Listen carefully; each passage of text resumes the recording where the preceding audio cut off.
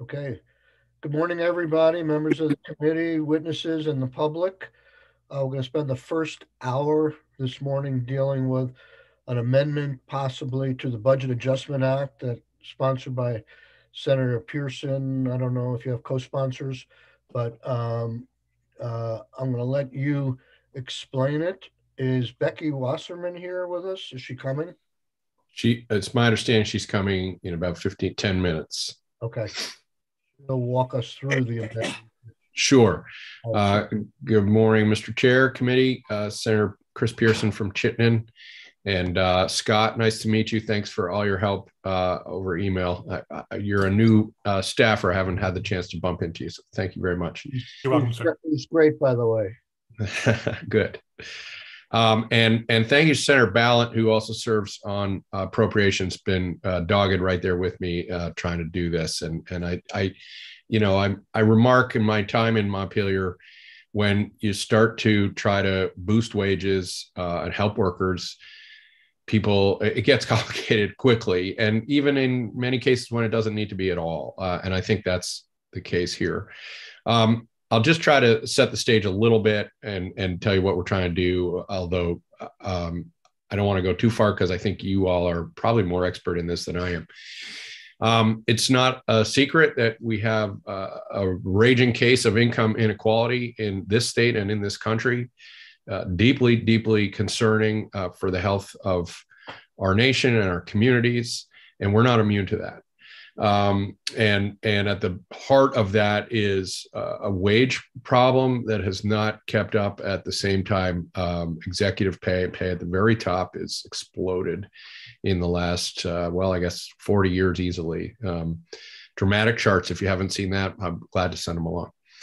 Um, and we have uh, as a state as a community uh, uh, figured out a, a, very straightforward principle when the state is paying for construction projects ourselves through the capital bill. We make sure that the people doing the work get paid well uh, get paid decently get paid fairly. You know this is not um, putting cadillacs in uh, sheetrockers driveway but but basically ensuring that the people shoveling gravel and and holding the flags on the highway that they're they're looked after and and treated fairly. And the feds do the same thing. In the federal case it's called the davis bacon law i think or davis bacon wages. And for vermont um, uh, we call it the prevailing wage or sometimes it's called the mini davis bacon. Same idea. When we're spending public dollars it's absurd to pay people in a way that has them then dependent on public services, right? I think that's at the core of this. Uh, you should earn a wage when you're working for the public. That that means you're not in poverty. So we applied already to capital projects. We, as the chair said, we uh, in 2009 under the Douglas administration, we applied uh, the prevailing wage or Davis Bacon um, whichever sort of uh, uh, hooked, if you like, to ARA dollars. The last time the feds were, were spending significant uh, stimulus dollars our way. And what I'm offering here is that we just apply the prevailing wage to ARPA dollars. Their uh, ARPA's guidance imagines that states will do this.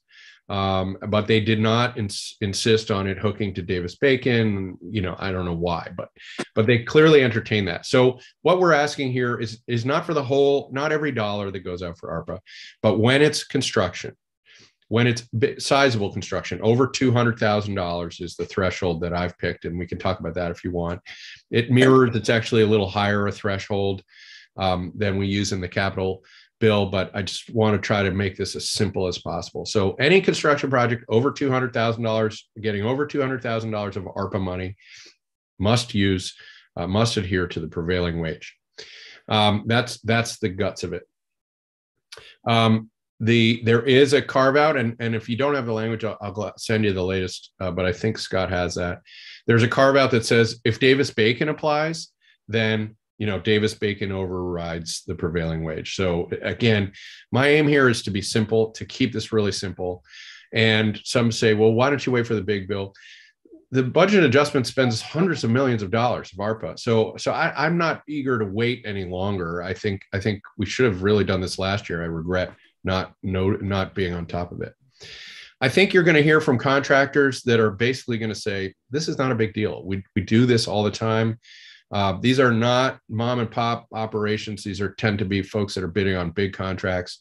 They're in fact used to, and probably in many cases will have to deal with Davis Bacon, which is slightly more onerous in terms of administration already. Um, uh, but you know, for the the those those projects that we're funding, um, that don't have Davis Bacon apply, we need to make sure our, our folks are taken care of. Now, the job market is strong right now, and it's quite likely that a lot of these wages, you know, that this isn't going to have a huge impact right today.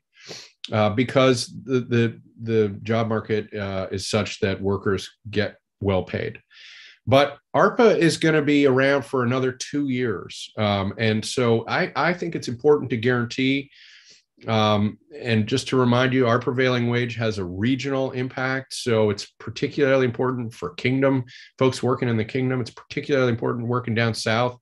Probably going to have less impact uh, around Chittenden County and, and northwestern Vermont.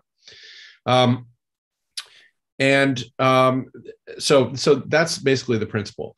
Um, the compliance and administration, we're trying to make this very simple and not loop in you know entities and state governments so that it just sort of adds another layer. We want to make this as simple as possible. My understanding is that basically this would um, go into any contract. It would go into a bid you know requirement. Once if this becomes law it becomes a requirement before you even bid so it's straightforward there. Then, when you get a grant, you're signing the contract and you're adhering to the law, which would be in this case the prevailing wage. And there's been some question about how we do oversight. Um, what I've been able to gather from from Damian Leonard and Becky Wasserman is that the Department of Labor, through the wage and hour division, has broad authority over making sure people get paid the the, the wages of, of of under the law. And so i think this would fall under there. It would effectively be complaint driven. Davis bacon requires a contractor every month to sort of certify. That's and and then we the question comes well where would we send that? And and so again in the in the name of simplicity and making this as easy as possible to administer we're not requiring that but we require it up front in the contracts. Um, and we understand that if a worker was uh, not being paid fairly, they could bring a complaint just the same way a worker could bring a complaint about not getting a minimum wage, and it would fall under statute under Department of Labor and Wage and uh, Wage and Hour Division.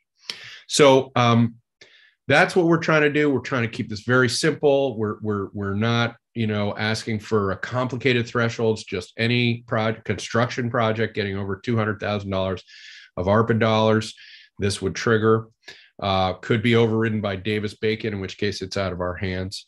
And I'm very hopeful we could do this. And um, and I would be honored. Um, by the way, if I, I'm not exactly sure how this advances, but my hunch is that uh, it will be a floor amendment, and and if anybody wanted to join me as a co-sponsor, I'd be glad to have you. Um, but maybe we'll sort of that settle that uh, a little later in the day. But thanks for taking the time. I appreciate it. I know you had to juggle your schedule. It means a lot to me. Thank you, uh, Senator Sirotkin and everybody.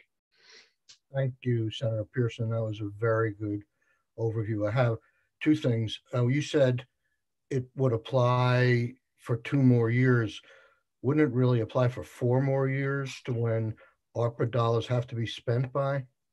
Yeah, 2024, right? They have to be obligated, but Obligated. then They could be But spent. spent by twenty-six, I think. okay, well, yeah, all the more important and and you'll see in the latest language it's an excellent point and and you're you're making my point stronger. So thank you.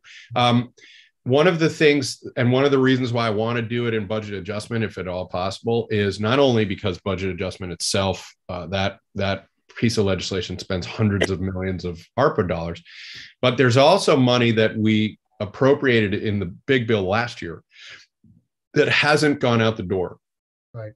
And so again, in the name of simplicity, you'll see the language, the latest draft says, you know, this is, we're not going to retroactively apply. I don't want, you know, I don't want anyone to be able to come in and say, well, we already put out RFIs or RFPs or we're in negotiations. None of that.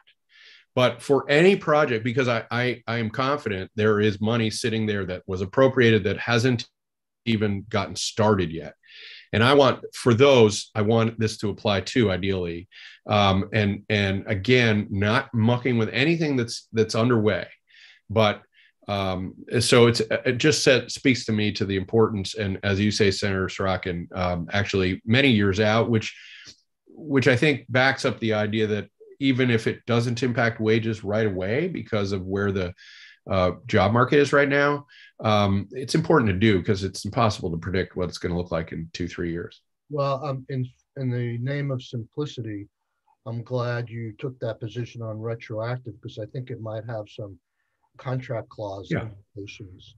And I'd be interested to hear from Becky where that cutoff is because if someone's signed a contract, even though they haven't started work, it may have some contract clause implications under the Constitution to try and change that after the contract has been signed. So Right. hear from Becky on that.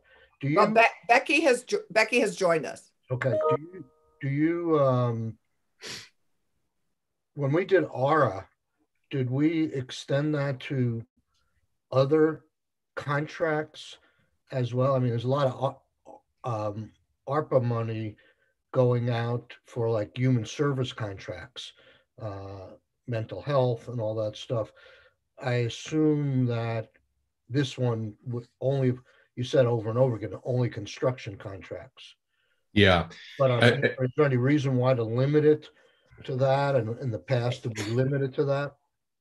Um, the the the reason, as I understand it, and I'd be glad for for for uh, Becky to bail me out here, is that that's what prevailing our prevailing wage law applies to, um, and and so you know, I, I would be glad to work with all of you to figure out how we make sure uh, other types of grantees get paid well, but we kind of have this structure already when it comes to construction and and um, I figured at a minimum that was important to to adhere to. Okay. Any other questions for Senator Pearson? Uh, Senator Sirotkin, let me just read quickly the the the way that we've drafted this makes clear that uh, in terms of those FY22 appropriations that haven't started, it will not apply um, uh, if the project has been invited or advertised for bid, the project is under contract or the funds are obligated. So we're trying to, you know, narrowly make sure if there's a hundred million dollars left over that hasn't sort of gotten underway from last year, want it to apply there, but not complicate anything. And I appreciate Becky's drafting there. I think that's a decent start, but um, you know, if Lori or others have have suggestions, we're very open to that.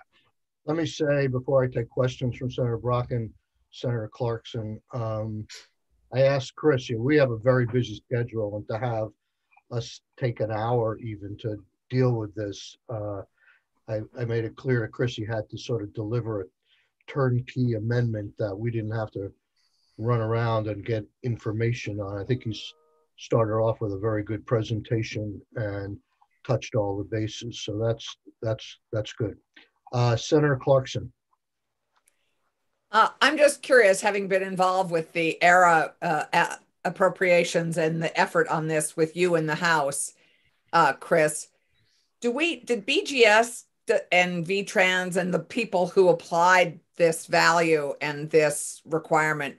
Do we have any data about how it actually lifted wages and how many projects it applied to as a result of that work?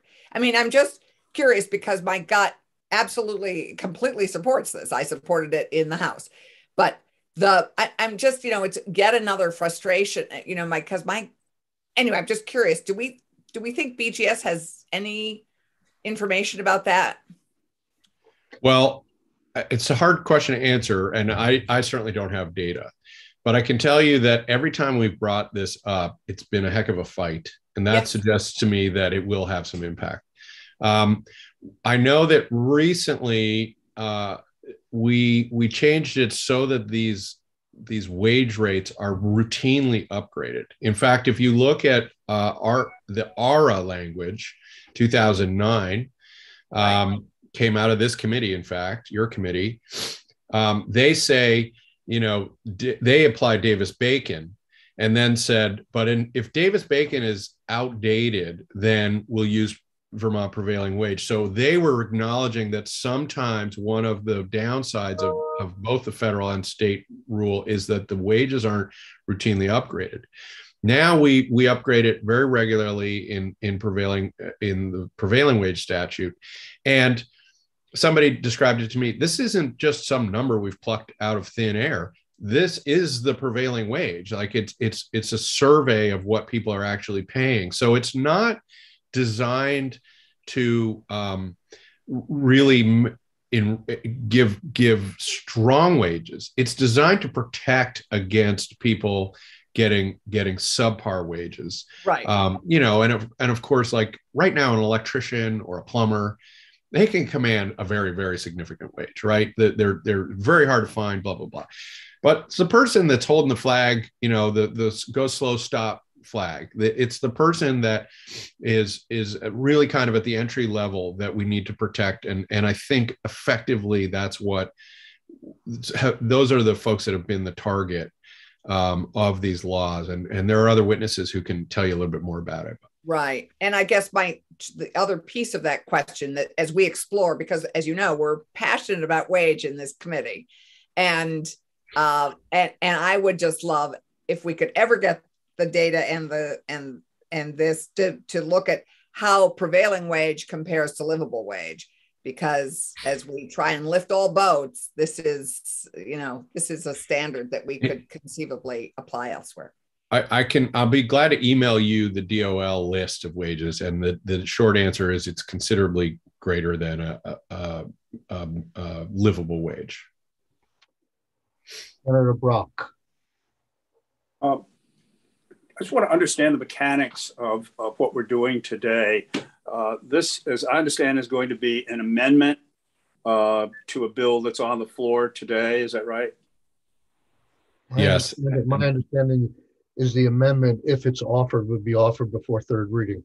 Correct. And so the question then becomes uh, how, what testimony uh, are, are, we hearing uh, about issues such as one, is there any inflationary impact? B, how does it affect the total amount of money we'll be spending? Three, what does it cost? Four, what's the difference between the prevailing wage and the wages that are being paid on construction jobs that are funded with ARPA funds today? Uh, and I could go down the list of questions. And if I understand it correctly, we've got an hour. That's correct. And you can ask all those questions. But well, will I get answers to any of those questions? Well, you may. From from who? Well, we have the we have construction. We have the state here. We have the construction industry. Uh, I'm looking around if we have anybody else. Becky may have it. Um, so, but well, you know, that, that, that, that's that's all. That's all we can do, and certainly you have well, your right to make your. To, to make, an effort to deal with a subject like this of this magnitude is wholly inadequate, and I don't think we can ever do justice to this. Now, the notion that we, we should, should discuss it, I absolutely agree that this is something that is worthy of discussion. But to rush this through in this manner, I think does not do a good service to our fiscal responsibility and stewardship. I, I guess I would comment, Senator Brock. Uh, the prevailing wage law has been around for a long time, was the subject of careful compromise, and I've I've been around personally when it's been updated um, and and modernized. And each of those debates was more than a little intense and was more than a half an hour here or there. It was weeks and weeks of testimony. It was a very carefully crafted compromise. And now we don't debate it every year when we fund capital projects. We apply the principle that the legislature has landed on uh, the federal government applies the principle that they've landed on in, in Davis Bacon. When when we were starting to get this drafted, I said let's include the infrastructure bill that is money about to come to the state through the federal, and and the research indicates that that already has Davis Bacon. I don't know. I don't follow Congress closely, but I don't think they had to debate that. They just applied the principle of the way they do business through federal construction projects. That's what I'm asking for here. So I don't I don't think this is a fresh issue. I don't think that we need to deeply get into the ins and outs of it. I think what what I'm asking is that we would apply the principle we apply to our own dollars to this billion dollars that the feds have have handed us and we are aiming to get out the door as fast and effectively as possible to do some much needed work um, in the construction field and elsewhere and when we're doing it in the construction we ought to apply the same exact principle we do when we're funding um, projects straight from state coffers well i would just add, note that Davis Bacon is not something that is with is is absent of controversy, including in the federal law uh, today. Uh, the arguments relate to inflation, uh, the fact that uh, Davis Bacon typically and prevailing wage typically means union wage as opposed to the wage being paid by contractors, the vast majority of which are non-union in the normal course of business. Uh, how much will this cost? I think is a very fundamental thing that, that we should be talking about and understanding in terms of the amount that we're spending of this federal money. Will it take away the ability to do other projects? Is there a problem that we, in fact, are solving? All of these are things that for us to, to talk about this with this amount of money involved uh, in the space of less than an hour, I think is irresponsible. Well, that's a decision that this committee will vote on and have to make a decision on. Uh, you know, the flip side of that is the trains leaving the station and all these contracts are being let. And people should, I think the state should be a model citizen in what it pays its people with the dollars it has. We do it for general fund in the capital bill. We do it with federal dollars in Davis Bacon. We're not, we're not recreating the wheel here. We're just changing the breadth of coverage of uh, the way uh, the programs that are covered. And um, so, I mean, I don't, I don't, I don't disagree with your logic, Senator Brock. I come to a different conclusion. And so, Mr. Mr. Chair, may I just also add, we aren't reinventing the wheel here. We did the the last time we had a huge infusion of federal money. We did almost exactly the same thing.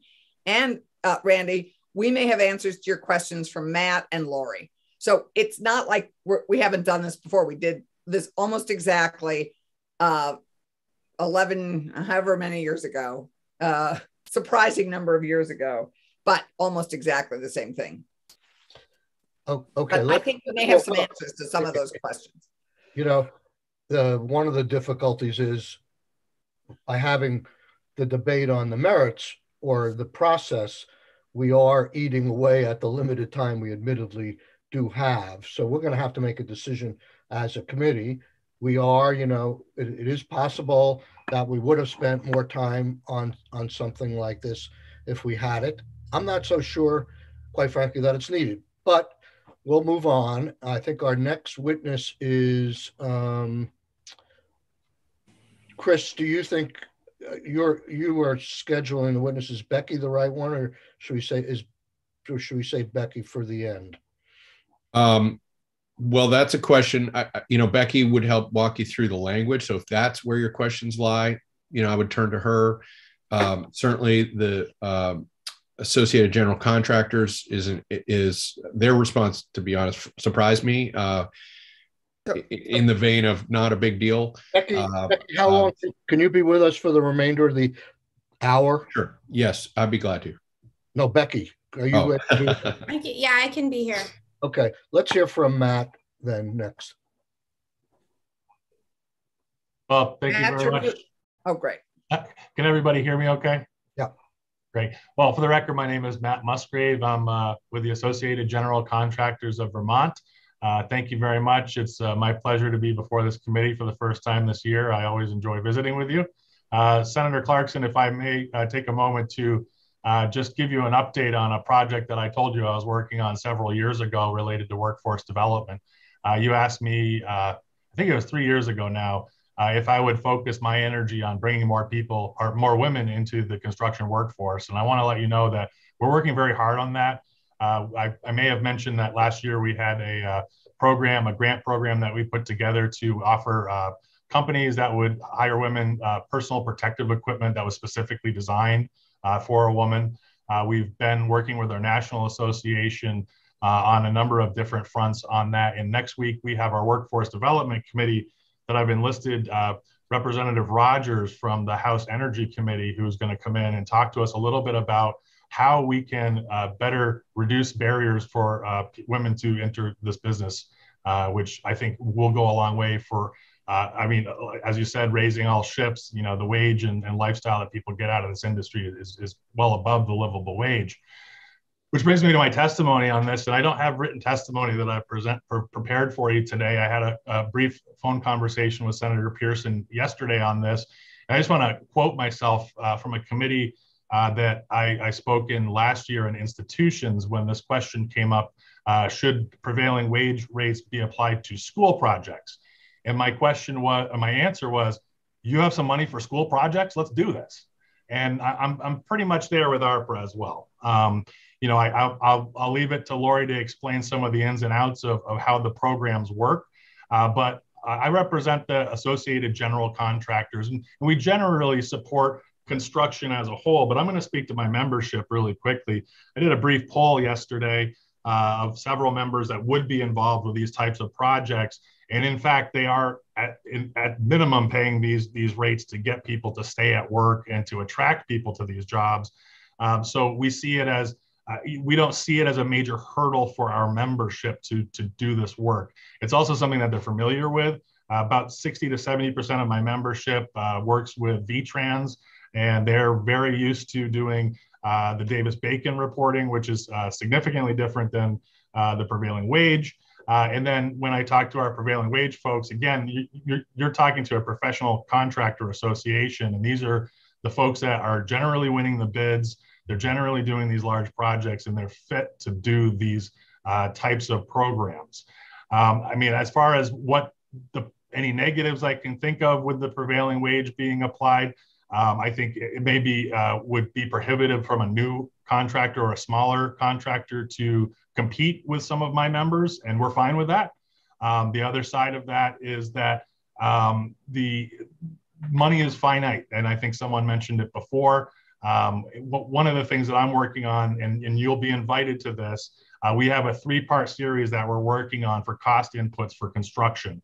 Um, and that's in the building side, that's in the road side, and that's in uh, workforce side. And, you know, government mandates and stuff are certainly a piece of the cost factor, um, although it's not the only one. We have to deal with supply chain. We have to deal with attracting a workforce. We have to apply safety protocols to keep people safe on the job. Um, so applying the Davis uh, Davis Bacon or prevailing wage, um, it's it's your money. You're choosing how to spend it, and because it is a finite resource, you will spend more money on projects that go out the door, which may limit the capacity for the number of projects. But with that being said, I, I think that and with respect to the time that we have, I'm going to say that um, you know we're we're prepared to to work with whatever the committee chooses on this, and uh, we thank you for the opportunity to speak today. Senator Clarkson. Thanks, Matt. Um, can you give us a notion? You say it's not really much of a hurdle. First of all, thank you on the on, on anything to do to get more women into construction. Uh, I think it's really a win-win, and I'm really excited to hear that and look forward to hearing more. Um, uh, prevailing wage versus what's being paid now. Uh, it, it's almost negligible, is my guess. Can you give us a notion of what that is? So I'm going to I'm going to give a plug here really quickly to a platform that we've developed um, and that will be uh, marketed shortly, vermontconstructionjobs.com. I'll put it in the chat after my testimony so that you can go and check out the website. On the website, we've gone ahead and it's it's it's the goal is to educate people on construction and the outcomes that they will have and, and what they need to come into it. So we've put a bunch of different job classifications, whether it's carpenter, electrician, uh, heavy equipment operator, and we've built these job cards for them as a video that shows what to do, what they do, what you know, what skills they'll learn, and also shows what the uh, Bureau of Labor and Statistics average wages are in Vermont for those jobs. So we're already educating people on on what those wages are. And then when you go further into that website, you can actually see a list of jobs that have been posted. We've got about 30 up there. The, the website's only just been launched. We'll, we anticipate 100, 150 jobs will be posted within the month. When I look at those wages, There are some that fall slightly below, but those are very low entry level jobs that people are only paid that wage for a short period of time until they take their safety training. And I'm talking $15, 16 dollars an hour. When you start getting into level two, level three laborer positions, you're very much in that, that prevailing wage category. Again, I'm only speaking to my membership. I don't know about the contractors that aren't within my membership. Thanks.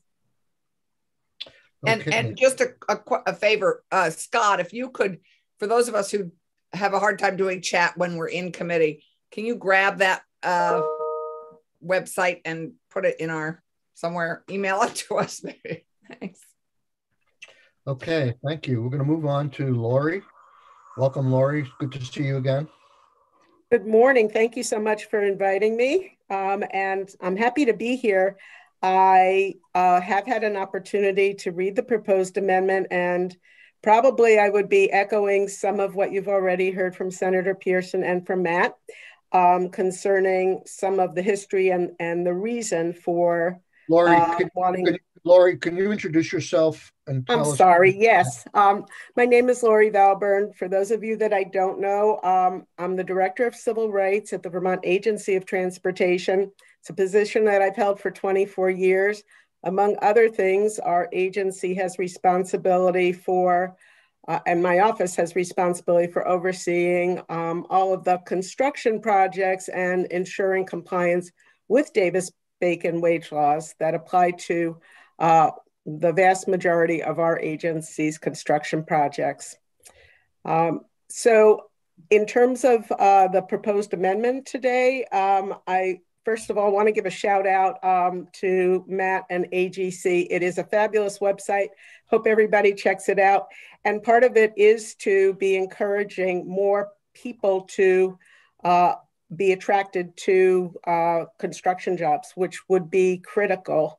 I think that that's part of the goal of this amendment, which is to uh, make sure that for folks that are um, going to be working on public projects, that they're being paid a fair wage. And that's accomplished, and it's been accomplished um, for close to 100 years using Davis Bacon wage laws on federally funded projects. It's not without controversy, and it's not a perfect system.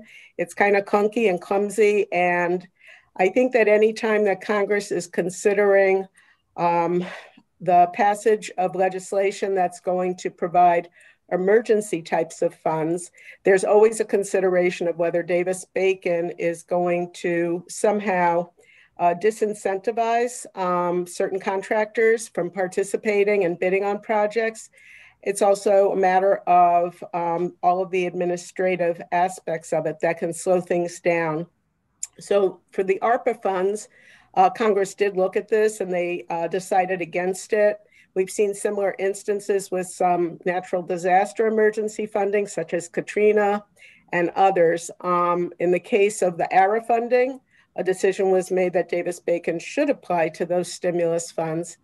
The guidance that we see that the Treasury came out with on this in their interim final rule um, speaks to the issue of whether or not uh, Davis Bacon uh, should be applying. And while they didn't mandate it, they did recognize um, as I think Senator Pearson referenced, that um, state prevailing wage laws, which are commonly called mini Davis Bacon laws, may very well apply to projects. And that's what our state prevailing wage law is it's a mini Davis Bacon uh, wage law. Um, what the guidance also says specifically is that Treasury is encouraging recipients to ensure that the projects use strong labor standards, including labor and community benefit agreements that offer at or above the prevailing rate and include some local hire provisions. So that gives us some idea of the congressional intent, which I think is should be guiding um, us in terms of where do we go from here. Um, I totally agree that the benefit of the state prevailing wage law over federal Davis Bacon is that it's much uh, less onerous for uh, the contractors, um, as well as whoever's overseeing the grants and contracts that are being administered.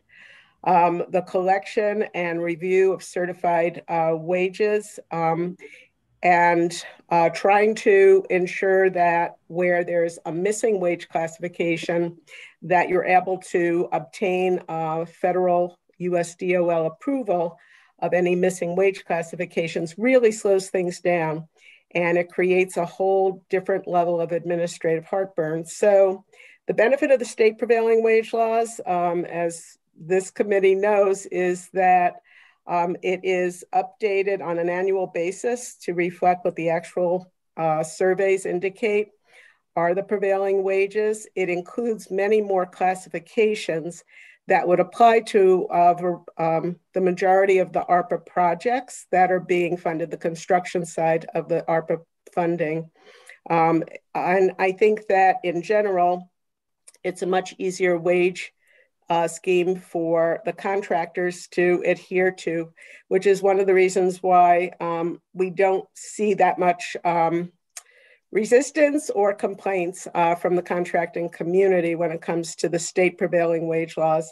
The one thing I would say is um, I think it is critical that um, if this does pass, that it doesn't be made retroactive. It sounds like you're already addressing that.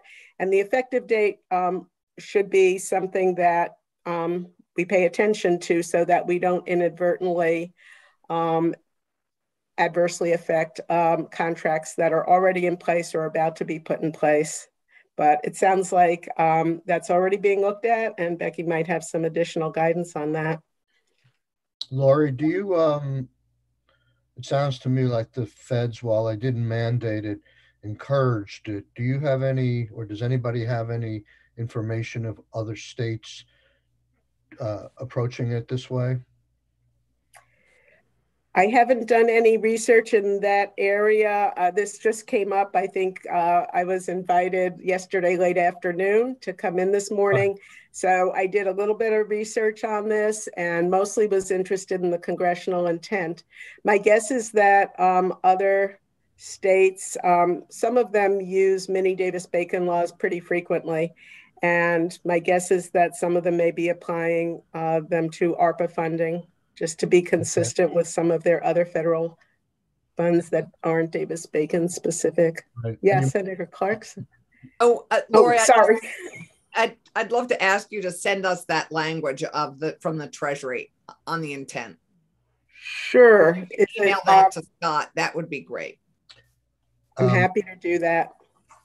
I heard, I think in your testimony, something to the effect that um, Mini Davis Bacon, um, in some instances, because of the up frequently update, the update, the updates happen more frequently, um, that it's preferable.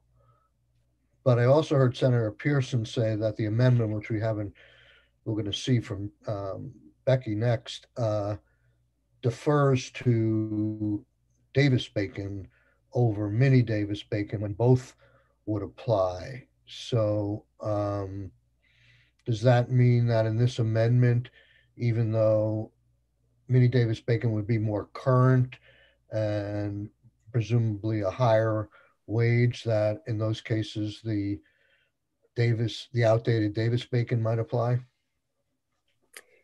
Well, I think that the um, Treasury guidance addresses this as well and specifically says that where there's a combination of funding and Davis Bacon is one of the requirements that Davis Bacon is going to be the one that is used. And so, in that sense, uh, there is guidance in the ARPA um, law, and I think that we need to follow that.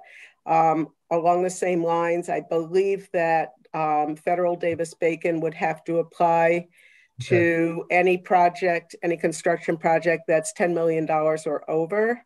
Right. Um, that's what the language in ARPA seems to suggest. Um, so, it. Treasury indicated in reporting guidance that recipients must document wages and labor standards for projects over $10 million um, those requirements can be met with certifications that the project is in compliance with the Davis Bacon Act. But uh, to your question, uh, Senator Sirotkin, I know that um, back in ARA, uh, we, uh, and I think that Senator Clarkson referenced this earlier, So Act 54 is still sticking in my mind because one of the outcomes here was in an attempt to make sure that we weren't in some way, we, we wanted to make sure that we had uh, the best of both worlds. And so the outcome required that um, for uh, Agency of Transportation, we had to come up with uh, highway wage rates under Davis Bacon that were special ARRA rates. And for the whole duration of ARRA on any projects that had any ARRA funding, uh, those special wage rates applied. And we had to come up with them for 14 different counties and do a side by side to make sure that we were paying the higher of whichever it was in every classification. And um, it was a little bit confusing, I would say, to some of the contractors that were working on both ARRA funded and non ARRA funded projects during those construction years. Uh, but we made it work and we were able to be compliant with both the spirit, the intent, and the actual letter of the law of Act 54. So it sounds like uh, the question you have is whether or not to suggest that ARPA um, projects should be subject to either the hire of Mini Davis Bacon or Davis Bacon. My guess is that in almost all classifications in all regions of the state, that the state prevailing wage law is going to be higher than the Davis Bacon rate. There might be a few exceptions, but the reason I say that is when you look at and do a side by side, I think that in general, the base wage um, tends to be very similar, but once you add on the fringe that comes with st- state prevailing wage law, which is at 42.5%, that's where the state prevailing wage will, uh, ends up uh, bumping up much higher than the federal Davis so, rate. So the, the bottom line, as I'm hearing it, is the deference to Davis Bacon when there's two funding sources that might apply is not one it it might work as being one of simplicity but the the real issue is there's a mandate on the federal level to use davis bacon. Okay um is senator brock? Question uh, lori can you uh, uh, educate us just very briefly on the calculation of and determination of the uh, prevailing wage, particularly with respect to the adder uh, of benefits as to where that number comes from, whether it is simply a percentage that is added to the wages being paid or whether it's calculated in some other fashion. Sure, Senator Brock. Um, I'm happy to speak to that. I know that Matt Barewicz from the Vermont Department of Labor um, was unable to join us this morning. He's really the subject matter expert and um, he uh, administers the program. It's my understanding that under, um, I think, uh, an amendment to the uh, capital construction project uh, laws uh, back in 2015 or 16, uh, the Commissioner of Labor is required to come up with what the fringe benefit amount should be. And it's been set at, um, I believe, 42.5% since perhaps 2016 or 17. I know that it's um, included if you go to the website and look at the state prevailing wage law um, uh, booklet, so the guide. Um, I believe that it's intended to reflect a combination of um, all of the usual fringe benefits. Uh, Federal Davis Bacon does um, give contractors credit um, for the fringe benefits that they provide in the exact same areas. It's usually um, for holiday pay and vacation pay, for health insurance, um, for um, certain types of retirement benefits and the like. And I'm not sure where the calculation came from. Um, I know the 42.5% has not been changed at all in the last um, at least four or five years. So I assume that it was based upon an analysis and a study that was done by the Department of Labor at the time. I don't know if it's been updated yet. So you said the base wages are pretty similar between Davis Bacon and Mini Davis Bacon. It, does does Davis yeah and Mini Davis Bacon has a 42% add-on. Does Davis Bacon have any add-on? They do in certain classifications in certain counties. And so it's kind of odd um, because you would think that it would apply more across the board. But the whole way that US Department of Labor conducts their prevailing wage surveys is a little bit unique. And um, I think it's unfortunate that it varies so much and we have a lack of consistency from county to county. Um, but in many um, classifications in many counties, there can be a significant fringe amount that's added there. Um, and again, contractors get credits against the total amount that has to be paid for that classification based upon um, what they're contributing um, in, in the form of uh, approved fringe benefits. Okay. Thank you very much, Lori. We're going to have to move on. Senator Ram, do you have a question? Um, maybe it's quick, but I just wondered if it was possible to compare to what states like Massachusetts and New York do, because I imagine we'd lose some quality workers uh, to those states that I feel like probably have this standard in place or have higher um, union standards and prevailing wage standards. Um, okay. Uh, I'm going to move to Becky. David, I just want to make sure we get Becky in for sure, and we'll go over a little bit and hear from you, David, next. Um, you want to walk us through the amendment? Um, Becky, welcome. Is it posted, Scott, on our webpage?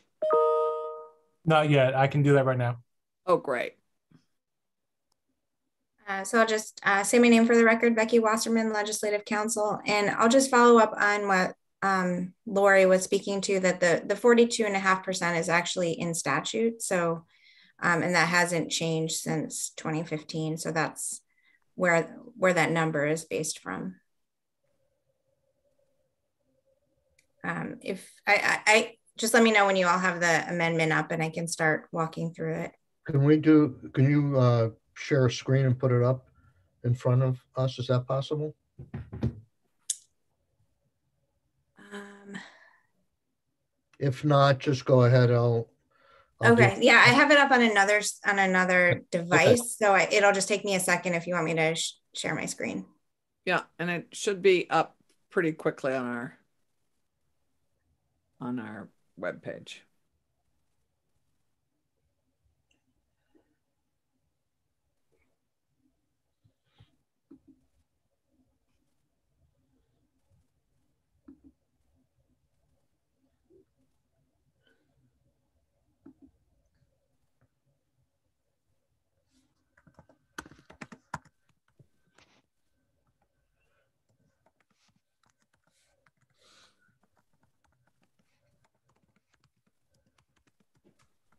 My apologies. I'm not sure why it's not there yet. Um, mine is opening if uh, you would like me to share it.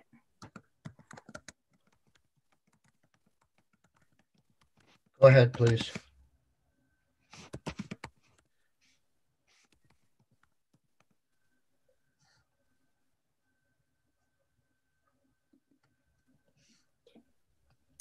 Can you all see that? Okay. Um, so this is um, an amendment to the Budget Adjustment Act, which is H uh, 679. And it would be adding in um, this new section 71A, uh, imposing a prevailing wage requirement on American Rescue Plan Act uh, funds. Um, so there were a lot of questions about what is what is in this language. I'll just I'll just um, respond to those as I walk through it. Um, so in subsection A1, um, it says except as provided in subsection B, and subsection B is going to deal with the retroactive um, question that came up about the con- the funds that were appropriated previously and maybe under contract. Um, so the uh, requirement is that any contract awarded for a maintenance, construction, or improvement project that receives 200,000 or more in ARPA funds shall provide that all construction employees working on the project shall be paid not less than the mean prevailing wage published periodically by the Department of Labor in its wage survey. Um, and additional um, oh, I, I think that I, that's actually missing an and there, and an additional fringe benefit of 42 and one half percent of wage as calculated by the current Vermont prevailing wage survey. Um, and this uh, calculation is the same as uh, what is in statute for currently for this um, state uh, prevailing wage that applies to the um, projects that come out of the capital bill. And then the definition of fringe benefits is also the same as what's in statute. So that is subdivision two on line 14. Uh, fringe benefit means benefits including paid vacations and holidays, sick leave, employer contributions, and reimbursements to health insurance and retirement benefits, and similar, similar benefits that are incidents of employment. So subsection B is what this does not apply to. So the requirements of subsection B, um, subsection A do not apply to any maintenance, construction, or improvement project that received uh, 200,000 or more in uh, ARPA funds appropriated prior to the effective date of this act, if any of the following apply as of the effective date of this act. So if it received um, I think last year's uh, budget was when some uh, ARPA dollars were appropriated. So if it received an appropriation in that bill and any of the following um, have happened prior to the effective date of the Budget Adjustment Act, this would uh, this would not apply. So the project has been invited or advertised for bid. The project is under contract or the funds are obligated. Um, so I tried to uh, envision uh, each scenario where um, the where this would be a, a, problem applying it retroactively and potentially cause a contracts clause issue. Um, and then subsection C is what um, you were all just speaking about, about the application of the Davis-Bacon Act. So subsection A also does not apply to any contracts awarded um, for construction projects that are required by law to comply with the requirements of federal Davis-Bacon. Good. Thanks. Very, very straightforward, I think. Okay. So, um, do you want me to keep the share up for now or take it down? You can it, leave it there for now, but uh, does anybody it, have any questions for Becky? It, it's up on our website, just so people know. I've been following it there. It's easier to read. I I, I have a question, Mr. Chair, Senator, which is Senator Clarkson. Is uh two hundred thousand uh, the right uh, threshold, and that's uh, my question. Just because the the federal the Treasury identifying 10 million is is obviously really there's a huge difference between the two and i um i'm just curious what uh what Matt's feeling was on that, what David's feeling and Lori's feeling, the, our two, our three experts uh, in, in this. I, I just love your input on the threshold amount. And I'll, I'll, just clarify that really quickly that this isn't a total, that threshold is not a total construction cost. It's just the total amount of the construction costs that are coming from ARPA dollars. So it is. Different uh, than what is current law for state construction projects, which, which says that the total construction cost has to be 200 or more and um, at least 50% funded by the capital bill. So this is um, not looking at the, the total cost of the project, but how much is coming from ARPA funds. Uh, but I'll let others speak to their thoughts on that amount. So this is this is much higher than mini right. David Bacon as a threshold in two regards first, it's twice the amount. Uh, and second, it's uh, just based on the source of funding, not on the total construction. under Mini Davis Bacon, right now under this, uh, under the capital bill, you could have uh, a program that has um, twenty-five thousand dollars in general fund uh, in it, combined with matching funds or other sources of $75,000 and you would still have to be covered because the total project cost would be $100,000 and it would fall under here. We're saying it's $200,000 and it's all from ARPA funds. Is that correct, Becky? Okay, it's right. I mean, the project could be a $10 million project. It could be a $200,000 project, but it's, if it's all coming from, if, if that 200,000 is coming from ARPA, then it triggers this requirement. okay, good. Um, any other questions for, for Becky? Thanks so much, Becky. Um, let's move on quickly to David. David, a couple of, can do, do it in less than five minutes and then we'll take, a- Yes. we'll take some questions and then we'll take a break. Okay, yes, I hear the bells ringing in Montpelier. It's 10 o'clock, so I'll be quick. Um, I just want to uh, say that um, actually um, the, the Vermont's prevailing wage statute was part of a compromise and many, many um, weeks of discussion. And we worked closely, sorry, I didn't introduce myself. It's been a while. David Mickenberg on behalf of the Vermont Building and Construction Trades Council.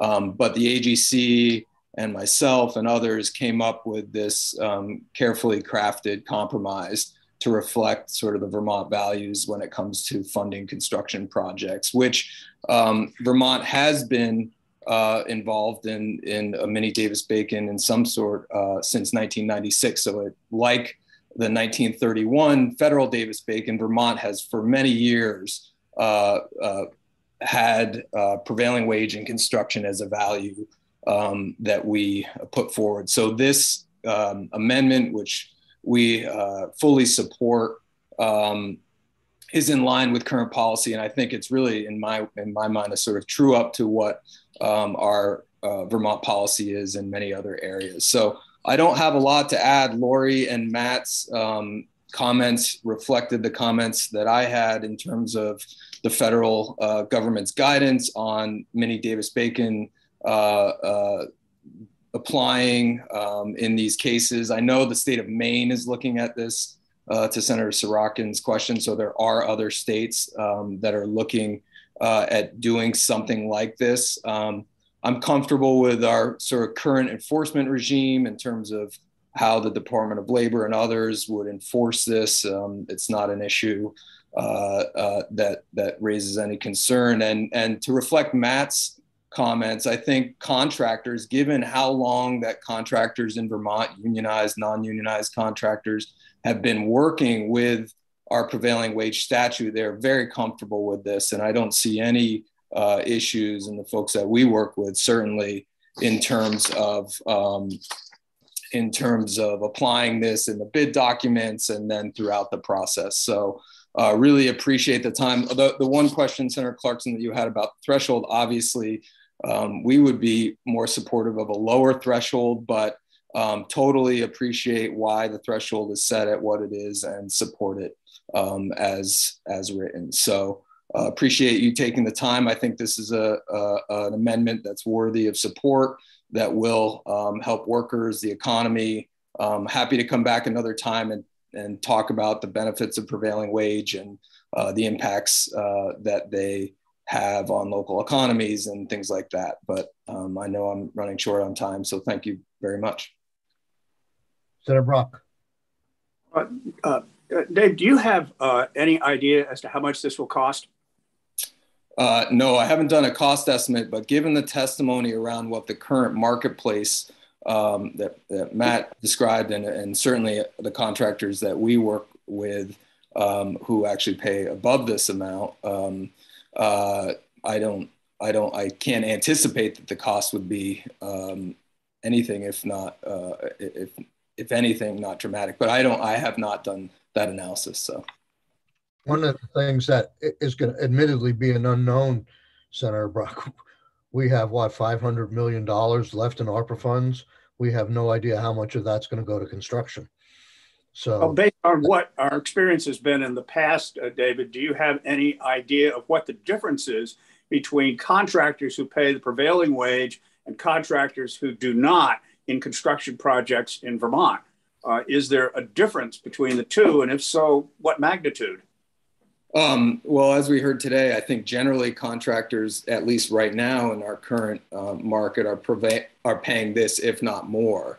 Um, one of the things that was mentioned, perhaps there could be contractors um, that may be paying less. And the question I guess I would put back on the committee is is that something that we would be supportive of? Because in our policy, whether it's in the Capital Construction Act or uh, DOT money that flows or um, a variety of different ways in which prevailing wages apply, we have put out the value of wanting to uh, pay reasonable wages and benefits that support middle class jobs. So I don't know that we would want to um, peg our policy to the lowest common denominator, um, given the values that the state of Vermont has has put forward since 1996 and the federal government since 1931 in a bipartisan way.